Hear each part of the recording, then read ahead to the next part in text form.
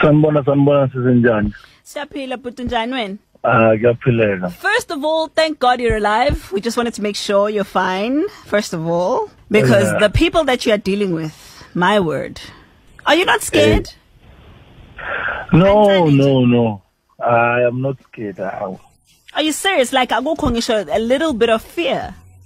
uh i can't say it's here ayikho it's there but the most important thing it's the cause of what we are doing Yeah.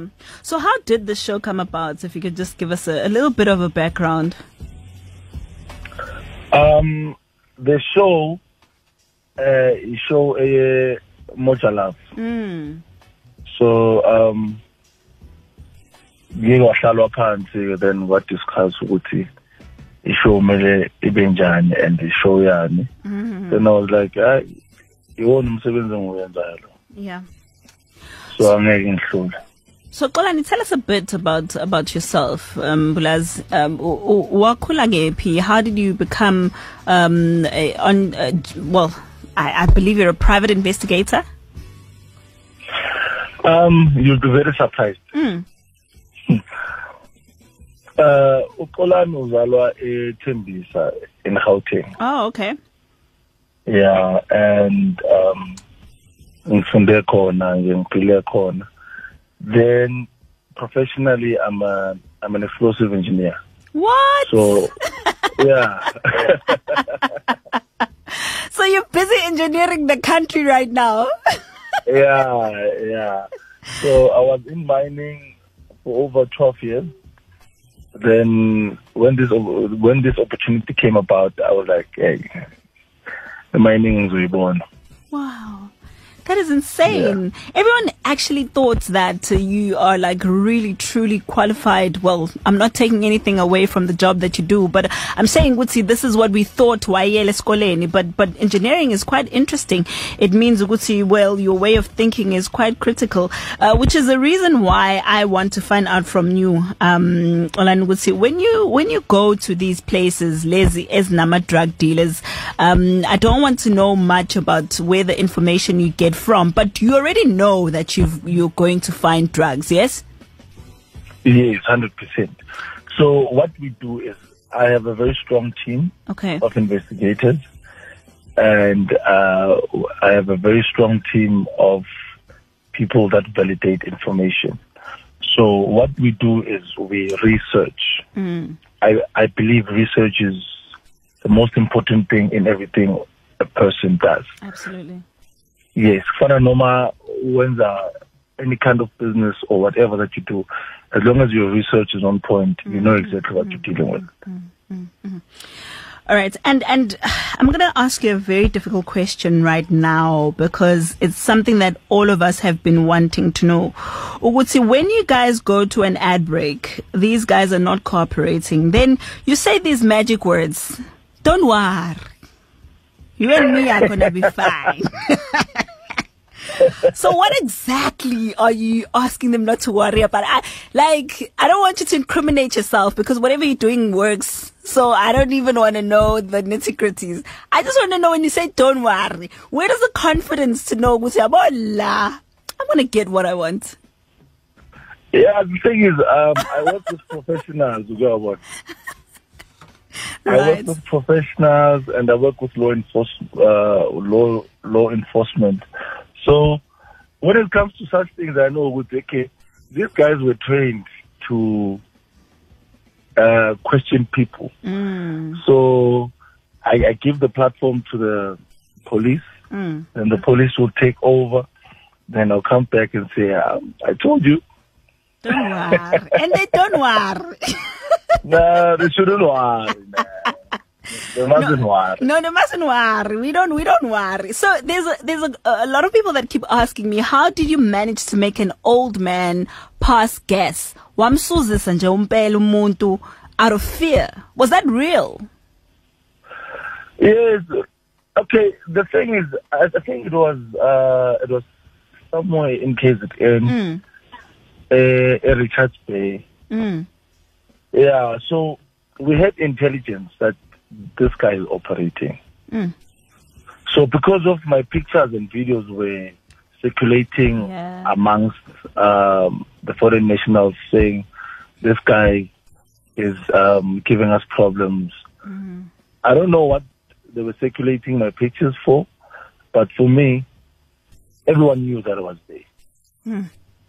So as soon as I walked in, mina team yam, he knew what it's about to go down. Mm. Zamkhalela. Yeah, so I, I think out of panic, uyawahluleka ukuyibamba. So because of you know when when you are relaxed and you think you have everything under control, then someone walks in. The first thing is ukushaya, it's that knock of uktuka. Yeah. Yeah. So, so So mm. baya incriminate sometimes, mm. baya panika and stuff like that. Mm. That one. Yeah. can I just find out the level of cooperation that you are getting from government, amaphoyisa, uhulumeni nje in general, are you happy with that? Um, I can't say I'm totally happy, but in some places I, I, I do get the support. There are there are people in high positions, especially with, with SAPS and your JMPDs and your EMPDs. They they they do support me. Mm-hmm. But abanye, because some of them are compromised or some of them have Yes. interest or some of them are mm-hmm. beneficiaries mm-hmm. in their own way are supporting at all. Hmm. But I understand because it's human behavior. So not everyone is as productive as the other. But if I come across someone who's productive and who wants to work and who wants um, to make this country a better place, we work very well with them.